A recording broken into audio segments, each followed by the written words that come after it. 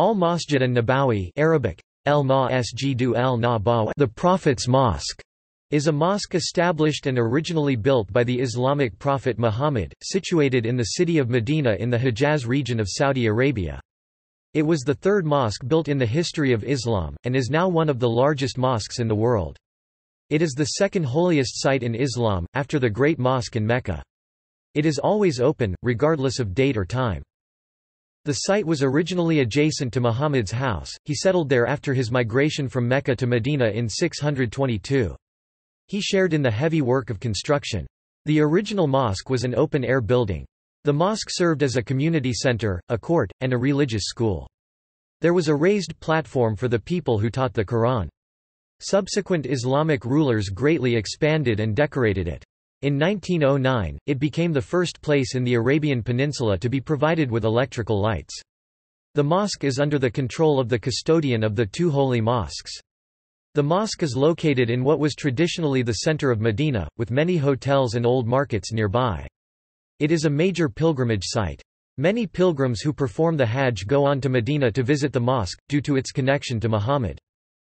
After an expansion during the reign of the Umayyad Caliph al-Walid I, it now incorporates the final resting place of Muhammad and the first two Rashidun caliphs Abu Bakr and Umar. One of the most notable features of the site is the green dome in the southeast corner of the mosque, originally Aisha's house, where the tomb of Muhammad is located.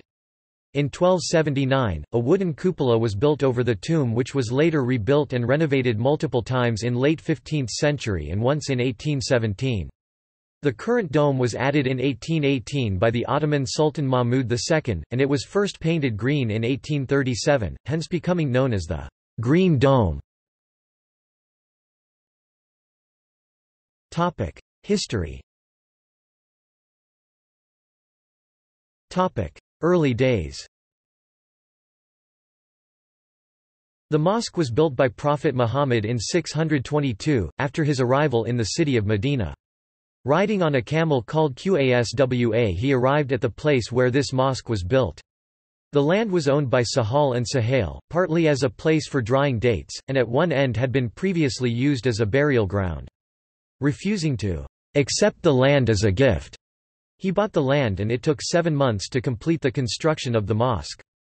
It measured 30.5 meters times 35.62 meters, 100.1 feet times 116.9 feet. The roof which was supported by palm trunks was made of beaten clay and palm leaves. It was at a height of 3.60 meters, 11.8 feet. The three doors of the mosque were Bab al-Rahma to the south, Bab al-Jibril to the west and Bab al-Nisa to the east. After the Battle of Khaybar, the mosque was enlarged. The mosque extended for 47.32 meters, 155.2 feet on each side and 3 rows of columns were built beside the west wall, which became the place of praying. The mosque remained unaltered during the reign of the first Rashidun Caliph Abu Bakr. The second Caliph Umar demolished all the houses around the mosque except that of Muhammad's wives to expand it. The new mosque's dimensions became 57.49 meters times 66.14 meters, 188.6 feet times 217.0 feet. Sun-dried mud bricks were used to construct the walls of the enclosure. Besides strewing pebbles on the floor, the roof's height was increased to 5.6 meters, 18 feet. Umar moreover constructed three more gates for entrance. He also added the al-Buteha for people to recite poetry. The third Caliph Uthman demolished the mosque in 649. Ten months were spent in building the new rectangular-shaped mosque whose face was turned towards the Kaaba in Mecca. The new mosque measured 81.40 meters times 62.58 meters, 267.1 feet times 205.3 feet. The number of gates as well as their names remained the same. The enclosure walls were made of stones laid in mortar. The palm trunk columns were replaced by stone columns which were joined by iron clamps. Teakwood was used in reconstructing the ceiling. Middle years In 707, Umayyad Caliph al-Walid ibn Abd al-Malik renovated the mosque. It took three years for the work to be completed. Raw materials were procured from the Byzantine Empire. The area of the mosque was increased from 5094 sq meter of Uthman's time to 8672 square meter. A wall was built to segregate the mosque and the houses of the wives of Prophet Muhammad. The mosque was reconstructed in a trapezoid shape with a length of 101.76 meters, 333.9 feet. For the first time, porticos were built in the mosque connecting the northern part of the structure to the sanctuary. For the first time, minarets were built in Medina as he constructed four minarets around it. Abbasid Caliph al-Mahdi extended the mosque to the north by 50 meters, 160 feet. His name was also inscribed on the walls of the mosque. He also planned to remove six steps to the minbar, but abandoned this idea, owing to this causing damage of the woods on which they were built. According to an inscription of Ibn Qutayba, the third caliph al-Ma'mun did unspecified work on the mosque. Al-Mutawakkil lined the enclosure of Prophet Muhammad's tomb with marble. Al-Ashraf Qansuh al-Ghawri built a dome of stone over his grave in 1476. The Rada referred to as al-Rada al-Mutahara, covered by the dome over the southeast corner of the mosque, was constructed in 1817 CE during the reign of Sultan Mahmud II. The dome was painted green in 1837 CE and came to be known as the Green Dome. The Sultan Abdul Majid I took 13 years to rebuild the mosque, which started in 1849. Red stone bricks were used as the main material in reconstruction of the mosque. The floor area of the mosque was increased by 1,293 square meter. On the walls, verses from the Quran were inscribed in Islamic calligraphy. In the northern side of the mosque, a madrasa was built for teaching Quranic lessons. Saudis When Saud bin Abdul Aziz took Medina in 1905, his followers, the Wahhabis, demolished nearly every tomb dome in Medina in order to prevent their veneration, and the Green Dome is said to have narrowly escaped the same fate.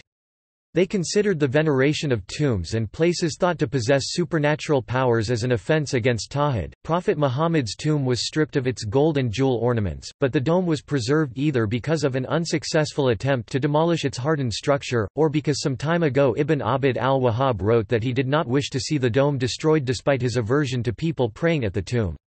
Similar events took place in 1925 when the Saudi Ikhwans retook and this time managed to keep the city, after the foundation of the Kingdom of Saudi Arabia in 1932, the mosque underwent several major modifications. In 1951 King Ibn Saud (1932–1953) ordered demolitions around the mosque to make way for new wings to the east and west of the prayer hall, which consisted of concrete columns with pointed arches.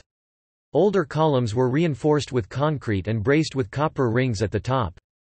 The Sulaymaniya and Majidiyya minarets were replaced by two minarets in Mamluk revival style. Two additional minarets were erected to the northeast and northwest of the mosque. A library was built along the western wall to house historic Qurans and other religious texts. In 1974, King Faisal added 40,440 square meters to the mosque. The area of the mosque was also expanded during the reign of King Fahd in 1985. Bulldozers were used to demolish buildings around the mosque. In 1992, when it was completed, the area of the mosque became 1.7 million square feet. Escalators and 27 courtyards were among the additions to the mosque. A $6 billion project for increasing the area of the mosque was announced in September 2012. RT reported that after the end of the work, it would accommodate 1.6 million people. In March of the following year, Saudi Gazette wrote, 95% of the demolition work has been completed.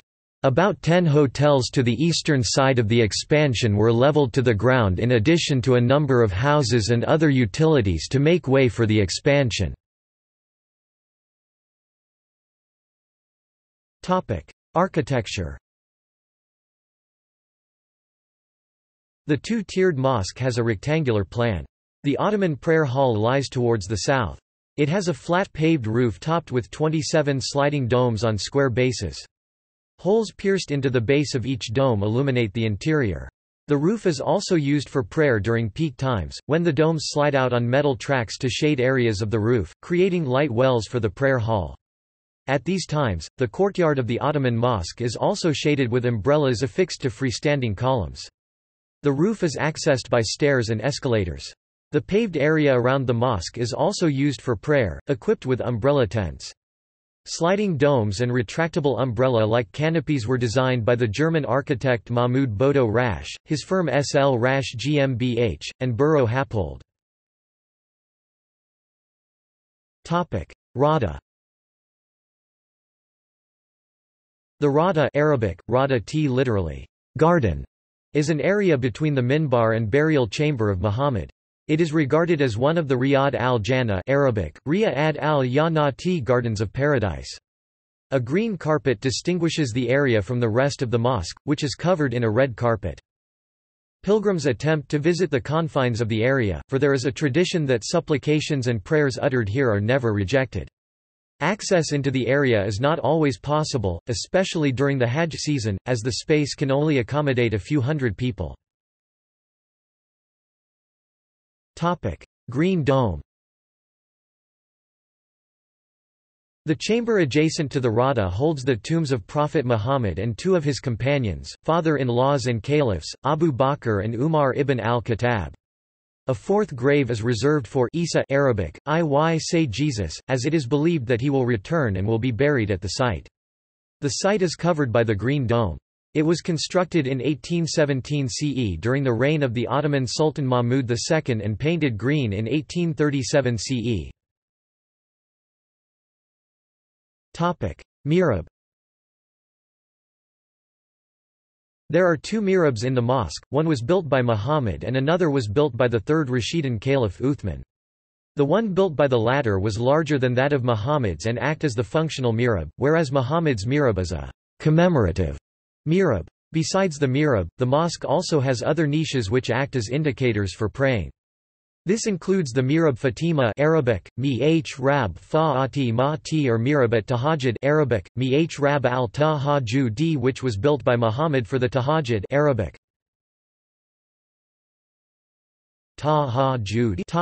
Minbar The original minbar Arabic, used by Muhammad was a wood block of date tree. This was replaced by him with a tamarisk one, which had dimensions of 50 cm times 125 cm 20 in times 49 in. Also in 629, a three-staired ladder was added to it. The first two caliphs, Abu Bakr and Umar, did not use the third step, due to respect for the Prophet. But the third caliph Uthman placed a fabric dome over it and the rest of the stairs were covered with ebony. The minbar was replaced by Baybars I in 1395, and later by Sheikh al-Mahmudi in 1417. This was also replaced by a marble one by Qaitbay in the late 15th century, which as of August 2013, is still used in the mosque.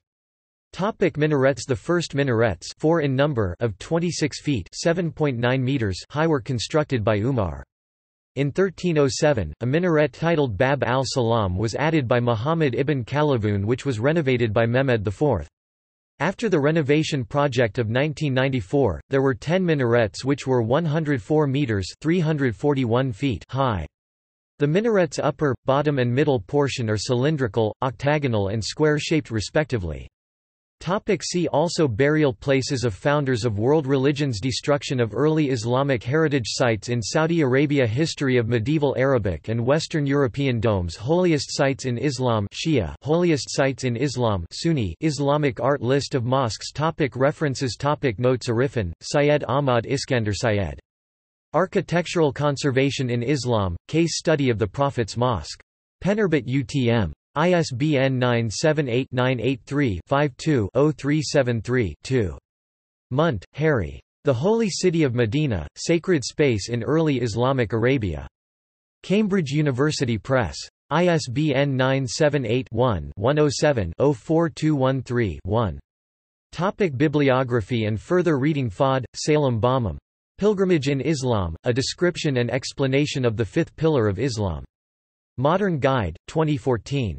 ISBN 978-1-78338-174-6. Hazrat Muhammad the Prophet of Islam. Adam Publishers. ISBN 978-81-7435-582-9. Muhammad, Asad. The Road to Mecca. The Book Foundation, 1954. ISBN 978-0-9927981-0-9. Sir, Richard Francis Burton. Personal Narrative of a Pilgrimage to Al-Madinah and Mecca, Volume 2. ISBN 978-0-486-21218-0. External links Complete compendium of Masjid al-Nabawi on Madain project Watch live al-Masjid and Nabawi Detailed information on Masjid al-Nabawi al-Masjid al-Nabawi. The Curious Tale of the Abyssinian Guardians of Masjid Nabawi Saw. Visiting the Prophet's Mosque Prophet Muhammad's Mosque 360 – Virtual Tour